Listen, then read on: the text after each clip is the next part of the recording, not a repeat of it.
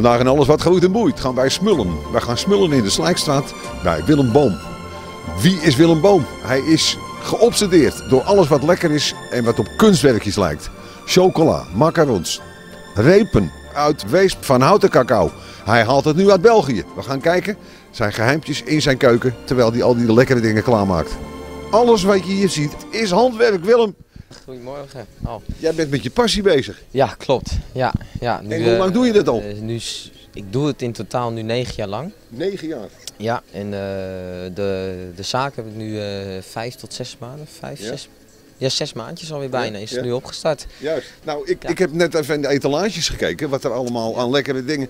Het, het ziet er niet alleen lekker uit, Nee. het, het is ook nog lekker, heb ik inmiddels al eh, begrepen. Ja. Want jij proeft alles zelf voordat je het in de winkel zet. Ja, ik proef wel alles zelf, ja. ja, ja. Maar ik eet, het, ik, eet, ik eet het niet veel, zeg maar. Dus ik proef het wel, maar eh, ik eet het niet allemaal. Dus, eh, Ik, ik ken die, die aloude snoepfabriek hier, eh eh, Petrovic in Weesp. Was het ooit, heb ik ooit vakantiewerk gedaan. Ja. Dan waren al die vaste medewerkers daar, die hadden geen tanden meer in hun mond. Eh, is, Nee, hoe is dat bij jou? Is dat allemaal echt nog? Eh, is allemaal echt, ja. Maar ik heb wel, eh, ik heb wel eh, vaak dat ik naar de tantes moet. Ja, dat wel. Waar begint jouw lekkernij mee? We hebben hier vier schalen staan. Dit zijn ook eh, vier soorten macarons feitelijk. Ja. Eh, we doen bij, dit is een eh, soort pasta. Dus Waar, amandel, waar bestaat dat uit? Want voor mij is dat... uit, dus amandelmeel met poedersuiker en eiwit. Oké. Dan krijg je een pasta. Waar is hij nu mee bezig, Willem? Hij is nu een eiwitschuim aan het maken. Een Italiaans schuim, zoals we dat noemen. Ja. En eh, dat schuim dat gaat bij die eh, amandelpasta voor de macarons. Ja. In een, eh, eigenlijk een meringue krijg je dan, een meringuekoekje. Dat, dat, is het hem eigenlijk. Nou, zometeen is dat eiwitschuim is dat, dat is helemaal mooi opgedraaid. Dan heb je die witte, dat hele spierwitte kleur zit eraan. Dat is helemaal luchtig gedraaid. Ja. En dat gaat zometeen bij die bakken. Oké. En dat wordt door elkaar heen gemengd met de hand. En dan heb je het beslag voor de macarons. En als ik dan even jou mag vragen, terwijl je druk bezig bent. Ik heb het idee dat jij wel graag af en toe even snoept. Eh, nou ja, dat valt op zich ook nog wel mee. Echt waar? ja, het valt best, dat valt vies tegen. Meestal als je erin werkt, ehm, ja, op een gegeven moment raak je er gewoon zat van. Al, meestal bijvoorbeeld eh, een, een goed voorbeeld is eh, speculaas. Als je die staat te maken op een gegeven moment eh, met, met de lucht, die, die blijft hangen, Ja. word je gewoon kort en kort misselijk. Dus als Ja. iemand even aan je vraagt, ook gewoon buiten, van neem een speculaasje, dan eh, sla je hem meestal over. Ik neem aan dat je het ook, dat je het ook boeit eh, wat je aan het doen bent. Jazeker, ja, zeker. Ik heb, eh, ik heb bij Willem in de klas gezeten. Ah, Acht jaar, dus eh, jullie kennen elkaar al eerder, ja. ja, we kennen elkaar al een tijdje. Nou, en overal zit een ander kleurtje aan. Ik heb hier eh, voor de framboos is paars. Ja? Ik heb hier eh, chocola. Ja. Dit wordt eh, koffie. Hier zit al het schuim bij, het eiwitschuim. En ik heb hier voor de, voor de limoen met wasabi smaak. Met, Oh, eh, met dat- groen. Dat Dat klinkt, hele eh, dat, dat klinkt, ja, dat Ja, klinkt ja. heel verrassend. Ja, dat is een hele uitdagende smaak. Dat is ook iets wat, eh, wat wij zelf hebben verzonnen eigenlijk. Dus, eh, maar eh, hij loopt wel goed ook. Dus, ja. Hey, Nou, dat- dan, dan is die, die, die pasta compleet klaar. Ja. En moet het dan de oven in of hoe gaat dat verder? Nou, dat, ik kan het wel even laten zien. Want wat, wat wordt dit nou uiteindelijk? Want wat we hier nu zien is, is een... Is een macaronkoekjes. en hoe zien de macaronkoekjes eruit? Want Nou, dat, dat- dat willen we dan wel even zien. Zo, Ah, dit zijn de macaron. Deze zijn al gebakken. daaronder zit het koekje of dit is gewoon hetzelfde materiaal? Dat is echt het koekje. Ja. En eh, we hebben ook kanasjes. Dat is een eh, chocolade met een room gekookt. En eh, met de smaak erin. Dat gaat hier tussen. En dat gaat zo op elkaar. En dan heb je een heel lekker koekje. Jij maakt ook heel veel met chocola, hè? Ja, ik maak ook heel veel chocolade met chocolade. Ongelooflijk mooie bonbonnetjes, kunstwerkjes op zich. Klopt, ja, ja, ja. Ook een van de weinigen die dat eh, zo doen eigenlijk. En dan ook heel veel met de hand. Dus, Ja. En Ja. die chocola, ik zag wat in de etalage staan. Van houten zag, kwam, ik, kwam ik tegen. Die Ja. bestaat toch niet meer? Nee, die, nou, die bestaat wel. Eh, wat er is gebeurd vroeger eh, is, is, het, is het merknaam is overgekocht door Callebout. En Callebout is de grootste chocoladefabrikant ter wereld. Zeg maar. Daar heb ik ook heel veel afnamen van. Wat Callebout heeft gedaan met Van Houten, is die hebben de merknaam opgekocht. Maar die exporteren heel veel naar Azië en Frankrijk en België. Als je in Frankrijk vraagt wat is Van Houten, dan kennen ze het. Ja. Als je in Nederland vraagt, kennen de meesten het niet. In Behalve in Weesp. ja, in Weesp kennen ze het. In Weesp zeker. Ja. Maar de, voor de rest van Nederland kennen ze het niet. En dat is gewoon heel gek, want eh, Van Houten was vroeger de grootste Ja. in cacao-productie. En dat is gewoon helemaal vergaan uit Nederland. En dat proberen wij terug te brengen. Ja. Want jij maakt allerlei ongelofelijke tropische verrassingen wat vullingen betreft. Hè? Ja, ja. Een bonbons is geen bonbons. Hè? Nee, nee, klopt. Eh, ik maak heel Dat veel. is een eh, experience hè, bij jou. ja, ik maak heel veel verschillende verrassende smaken. Dus, eh, En die bedenk je zelf. Meest, eh, ja, bedenk ik heel veel zelf. Ja, ja. Voordat we de zaak hebben opgestart, zijn we wel eh, twee dagjes eh, naar Parijs geweest om inspiratie op te doen. Dus hebben we ook heel veel gebakjes en dingetjes vanaf vandaar meegenomen naar hier om, voor inspiratie, zeg maar. En daar ben ik heel veel mee aan het experimenteren om dat ook na te kunnen maken. Ja, want in Frankrijk is het, is het veel meer. In Frankrijk, als je een patissier bent, dan heb je aanzien. En hier in Nederland ben je, ben je koekenbakker. Dus ja, ja. Dus je moet, die moet die naam nog even verdienen in Nederland, als ja, het ware. Ja, ja, ja, ja. Dat, moet je, dat moet je vaak wel even verdienen. Ja, ja klopt. Hey, je bent hier met, eh, met, met verschillende mensen aan het werk, zag ik. Hè? Ja, ja ik, eh, Je hebt een stagiaire zelfs. ik heb een stagiaire.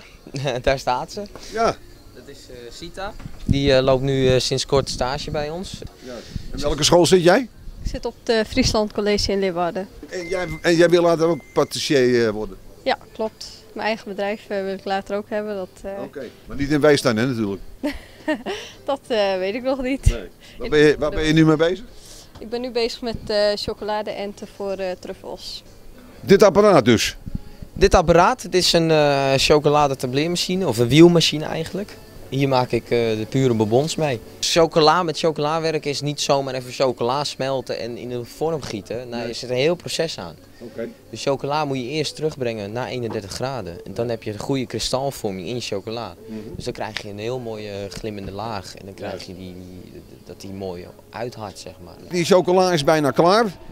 Nou, hij is nog niet klaar eigenlijk. Eh, wat, wat, wat we meestal doen om hem terug te brengen naar 31 graden, is eh, een, eh, een, eh, ja, chocoladedruppels dat nog hard is.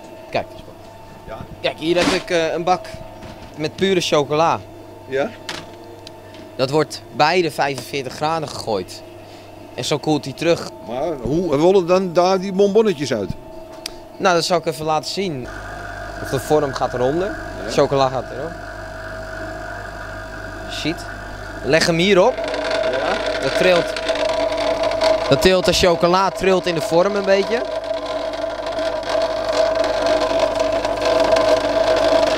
Je haalt de luchtbelletjes eruit, zodat de chocola echt overal zit. Nou, dan keer je hem om. Zoals je ziet, Ja. Dat is de eerste valt, etappe. ja, valt de chocola eruit. En dan hup, En nu kan je verder met vullen. dit hard uit. Dit Ja. kristalliseert uit. En dan kan je eh, inderdaad gaan vullen. Dan Als ga je naar de volgende etappe, de volgende geboortestadium van de bonbon. Ja, dan eh, wordt er een ganache of een andere vulling wordt er ingespoten. Juist. Dat gaat ook weer uitharden, dat moet opstijven. En dan gaat de andere lagen eroverheen, die strijk je zo af. En dan is en hij dan ineens, kristalliseert uit. En dan, eh, dan wordt het gelost. dan hebben we ineens een chocoladeverrassing. En dan heb je chocoladebonbons. Ja, dan heb je hele mooie bonbons. Nou, dit is dan eh, witte chocola. Dus dit, oh dat is witte chocola. Dit is witte chocola. Dat is een grote 10 kilo zak. En dit is, En hoe krijg je dat dan vloeibaar? Door het gewoon te smelten. ja, dat gooien, dat gooien we in die machine en dat, en dat smelt. Is dit dus die witte chocola waar zij nu mee bezig is de is? witte chocola, ja. En wat wordt het dit? Eh, dit, is, eh, dit ga ik nu straks gebruiken om de truffels door te halen. Om de truffels door te halen. Ja. Dus die krijgen een wit laagje. Ja, klopt. Dit zijn de chocoladetruffels. Nou, die hebben wij al eh, gevuld. Oké, en, en hoe gaat dat verder dan? Nou, die worden één voor één. Worden die truffels. Ach, Worden die doorgehaald. jeetje. Afgestreken. En neergelegd. Ook dit is ook weer het handwerk.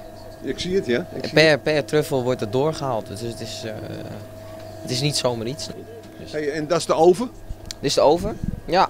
Die gebruik je voor de, macar de macarons. Die gebruik ik eh, voor macarons of andere baksels. Ja. Gebruik ook voor kapsel of cake of eh, dat soort dingen. En, Ja? Of bruidstaarten doe ik ook. Ik heb een aantal bruidstaarten voor in de zomer heb ik al een bestelling staan. Dat doen we ook. Mhm. En, eh, en qua taarten, ja, als iemand naar mij komt met een leuke taart, dan maak ik dat. Ja. Ja, en jij hebt dan ook te maken met die nieuwe woonwijk, eh, eh, waar jij volgens mij hele goede klanten mee hebt. Ja, eh. ja klopt. Van de nieuwe woonwijk. dat is heel gunstig. Daar heb ik al heel veel klanten van gehad. Eh, ja, ik vind het gewoon hartstikke leuk. Want daar in die woonwijk komen echt mensen vanuit Amsterdam. En zoals je weet is, is, is het in Amsterdam is het helemaal gewend om naar een patisserie of chocolaterie te gaan. Ja. En ja, die mensen komen nu, die, ze vinden het geweldig dat hier dat nu ook zit. Dus Ja. die vinden het helemaal top. Dus daar ben ik ook heel blij mee, ja. Ja, Dus zeker. la- En- Laat wees maar volstromen met Amsterdammers hoor ik hier nu eigenlijk. Hè? ja, laat, ja, inderdaad, laat maar voorstromen, ja zeker, ja. ja. Nou, de meeste winkeliers wi- willen dat ook, hè, begrijp ja. ik. Ja, het is, het is voor de, goed voor de markt, dat Ja. zeker. En goed voor eh, Weesp, het is toch gewoon eh, leuk. Mhm. Het, eh, ja. Wordt weer levendig, toch? Juist. Dat Ja, nou ja, alles, alles beter Ja. als een kleiwinkel die we ooit hadden in de Slijkstraat. Ja, Weet je dat nog? Die hoek? een kleiwinkeltje. eh, Die kleiwinkel, ja. ja, ja, ja, ja, ja, dat weet ik wel. Ja, ja, ja, dat, leek, dat leek wel of er een baggermaatschappij eh, aan het- Maar Nee, dat was dus eh, een etalage. Maar dat is, dat is nu overgelopen. Ja, ja, klopt. Ja. Dan kijk ik liever naar jouw etalage. Ja, ja, precies. Ja, dat is hartstikke leuk. En dan heb je ook wat over van hout te zien krijg je. Dus ja, dat is gewoon de geschiedenis van Weesp. En dat, dat moet echt weer terugkomen. Maar je laat het, het zware werk laat je nu doen, eh, zag ik Willem, of niet? Ja, dat klopt. Omdat, eh, omdat ik nu spreken. eh, Ja, ja, anders had je ernaast gestaan. ja, anders had ik er wel naast gestaan. Ja, natuurlijk. Wat is jouw specialiteit? Specialiteit is echt wel macarons. Dat is, daar heb ik me in Weesp heb ik me daar aardig op bewezen, zeg maar. Ik Ah, heb complimenten gekregen van mensen die in Frankrijk woonden. dat, dat deze macaron, macarons echt werelds waren. Ja. Hey, maar wij zijn hier nu om ongeveer 10 uur binnengekomen. Ja. Maar ik begrijp dat jij normaal gesproken altijd om 5 uur begint. Ja, Jordi en ik eh, beginnen om 5 uur. Zo. Ja, ja, om 5 uur s ochtends eh, beginnen we met het gebak. Het gebak voor de winkel te maken. En dat we, dat we zoveel mogelijk maken dat vers. En eh, dat moet ook, en dat is het lekkerste ook. Dat, Ja. ja, zeker. En ja, vanaf dat, nadat we dat gebak hebben gedaan, dan doen we voorbereidingen voor, voor bijvoorbeeld die macarons of kanasjes maken. En, en dan, eh, Wat zijn kanasjes? Kanasjes is eh, een kanache. Dat is een, Hoe ziet dat eruit? dat ziet eruit. We hebben een voorbeeldje hoor. Ja, laat maar zien. Ja, het zit, Ja? het zit nu in deze zakken. Een kanasje. Die keur 43. Ik kan even laten zien. Deze kanache hebben we al bereid. Dit is een liqueur 43 kanache. Oh, daar zit dus Dus gewoon drank in. Er zit drank in, ja. Wat een feest weer op de Ja, donderdag. dat is echt een feest hoor. Eh, ja, wat we doen met die kanache is, eh, we koken een room. Ja. En met die, bij die room dan gooi je ingrediënten, welke smaak, naar welke smaak je wil hebben. Ja. En eh, als die room aan het koken is, dan gooi je het bij de chocola. En dan heb je je ganache, dan heb je een, een soort saus, heb je dan een Maar, ja, chocoladesaus. maar, maar hoe ziet het er uiteindelijk dan uit? Dat is de ganache. Ah, En het andere koekje gaat er bovenop. En je Kijk. hebt de macaron. juist. Ik hoorde dat jij ook met bladgoud werkte en met goudpoeder zelfs. Echt Ja, goudpoeder. klopt. Ja, ja, ja. Dat moeten hele dure snoepjes zijn. eh. Dat is eh, zeker duur, ja. ja. Ja. Goudpoeder dus. Wie het goudpoeder? En dan hebben we daar nog het bladgoud. Dit is het bladgoud. Dat gaat in de Eh, kluis natuurlijk, hè? Dit, dit, ge- ja, dit, dit, dit zou ik bijna in de kluis stoppen, ja. dit boekje, Ja. Dit eh, kost al 50 tot 60 euro. Zo. En er zitten een paar blaadjes in. Ja. En dat doe ik echt op, eh, op, eh, ja, op, op, op, op speciale taartjes of mooie taartjes. Ja. waar ook best wel weer een prijskaartje aan kan zitten, zeg maar. Ja, dat geloof ik. Ja. Want eh, nou, dit, is, ja, dit is flinterdun. Dit is echt goud. En dat is voor consumptie geschikt, zeg maar even. Dit, dit is sowieso voor consumptie eh, geschikt, ja. Ja, Ja, ja, In principe kan je goud gewoon... eh, In Dubai doen ze het over de ijsjes en jij doet het gewoon over de... ik, ik doe kleine stukjes. Eh, In Dubai doen ze inderdaad doen ze drie van die, die, van, die, van die blaadjes doen ze in een ijsje. Ja. En dan kost dat ijsje volgens mij een 10.000 euro of zo. En, eh, ja. ja, dat is gekke werk natuurlijk. Zo'n stukje ongeveer, dat doe ik op een gebakje of op een taartje. Ja, dat maakt het gelijk af. Ja. Het is gewoon, eh, ja, dat is gewoon heel luxe is dat. Dus Dat is het, ja. nou, ik zal het even voorzichtig... Ja, ik, ik doe, doe dicht, want het goud dat waait straks door de hele Slijkstraat heen. eh. Ja, Kan je allemaal... ik doe het gauw weer terug. Ja, doe maar goud terug. Want wat, wat zie ik hier? Ik zie dat, is- dat is cacaopoeder. Dit is een bak vol cacaopoeder van Van Houten cacao. Ach. Hier maken we de slagroomtruffels in. Dit is eh, een plaat waarop de cacaotruffels, eh nadat ze door zijn, zijn gehaald door de cacao, gaan ze hierop. Ja. En als ze hierop zijn geweest, dan gaan ze op een plaatje, op een winkelplaatje. Ah, oké. Dit is voor poedersuiker. Juist. Dit is Oh. ook voor eh slagroomtruffels, maar dit is dan voor de champagne slagroomtruffels. Dus daar gaat poedersuiker overheen, witte chocola met poedersuiker. En hier heb ik een plaat met eh, al doorgehaalde eh lavendeltruffels. Lavendeltruffels. Lavendeltruffels. Ja. Die moeten nog afgemaakt worden of dit is al helemaal klaar? eh, die moeten nog afgemaakt worden. Oké. Wat er gaat gebeuren is, er gaat nog eh, blauwe suiker overheen. Aha. Blauwe suiker. Ja. Ja, ja, suiker met een kleurje, maar blauwe suiker voor ons. Dus eh, ja. Dan hebben we alle verrassingen gehad. Of zie ik daar beneden nog wat? Eh, nou ja, nee, dat is, eh, dat is decoratie. Decoratie. Eh, dit is mijn zelf eh, gemaakte eh, geletjes, zeg maar. Aha. Dat zijn, eh, die maak ik zelf, dat doe ik op taarten. De chocola als geletje. Die winkel, doe jij dat zelf? Nee, hè? dat laat je doen hè? Ja, dat laat ik doen. eh, door, de, door mijn kompion en door de vrouw van mijn kompion. Juist. En, eh, en mijn moeder staat ook wel eens in de winkel. En eh, nou, daar staat ze eigenlijk, dat is Jolanda. Goedemorgen. Goedemorgen Jolanda. Goedemorgen. Bent u, bent u klaar voor de strijd? Welke strijd? Het verkopen van heerlijke spullen? Ja, maar dat is toch geen strijd? Nee, Het is toch een feestje? Kijk. Dat je mensen blij mag maken met de mooie spullen die Wim maakt. Ja. Wat zijn het? Kunstwerkjes. Dat zijn het. Ja, kunstwerkjes hè? Ja, vind ik wel. Ja, hij maakt hele mooie dingen en hele lekkere dingen. Dus eh, perfecte combinatie. En wat, wat vind je zelf bijvoorbeeld het lekkerste? Eh, die, Dat zijn? dat is een, eh, een grote macaron. En die is gevuld met frambozen en rozeroom. Met lychees. En die is heel lekker. En de truffels. En de weespermoppen.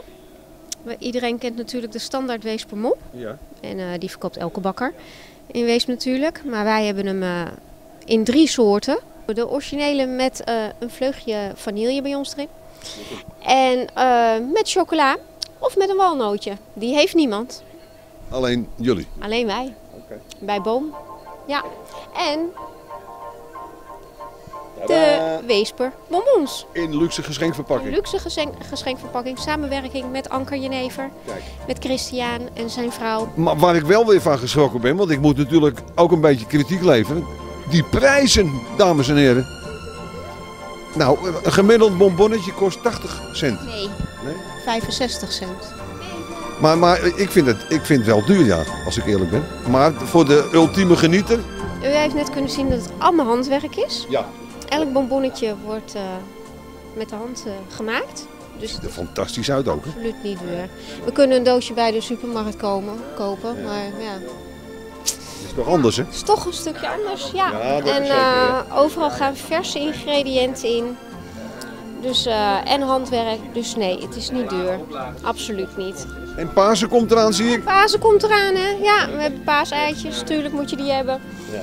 En eh, nou ja, chocoladetruffels, die hebben we ook. Coconut truffel, ah, met, met kokos. Dat lijkt me leuk, kokos. En we hebben een biertruffel met trappist. We hebben een champagne truffel. Ja, ik kan het zo gek niet bedenken. Of ze maken het wel. Bij Boom. Bij Boom. Waar ben jij het meest trots op? Het meeste trots? Ehm, welke? De macarons. De macarons, ja, ja. De macarons, dat is echt, echt een heel moeilijk product. En, en eh, ja, er zijn niet veel patissiers die echt die macarons onder controle hebben. Om, om een goed macaronnetje te maken. Ja, je kan ze vergelijken met de macarons uit Frankrijk. Zo goed zijn ze. Dus dat, tenminste, dat, dat heb ik gehoord. Dus daar ben ik heel blij mee. Ik durf het bijna niet te vragen, maar hij ligt er klaar voor, hè, Wim? Hij ligt er klaar voor. Die heb ik speciaal voor jou. Ik heb nog nooit een macaron gegeten. Nog nooit. Ik weet niet wat het is. Ik weet niet wat er gaat gebeuren. Het gaat nu gebeuren dus. Eh, hier zit drank in ook, hè? Begrijp ik. Dus we moeten straks eh, taxi bestellen, eh, Pieter. Mm. Nou, begrijp ik het wel. Dat hadden we eerder moeten doen, dit. Ja, hè? Nou, ik wens jou heel veel succes met, met het opvleuren in geuren en kleuren van de Slijkstraat met, Ja. met de firma Boom. Dankjewel. Ja, gaat zeker lukken en leuk dat jullie langs kwamen. Dit was alles wat goed en boeit. Wat mij betreft, tot de volgende keer.